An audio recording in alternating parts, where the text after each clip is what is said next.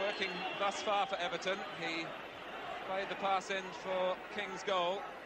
He's been the player fouled by both Tottenham central defenders that has led to bookings. King. Goal.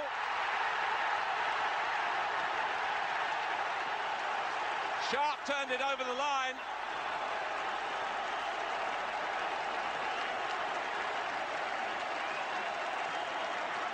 King went in strongly here and the ball favoured Everton. But Sharp was in an offside position.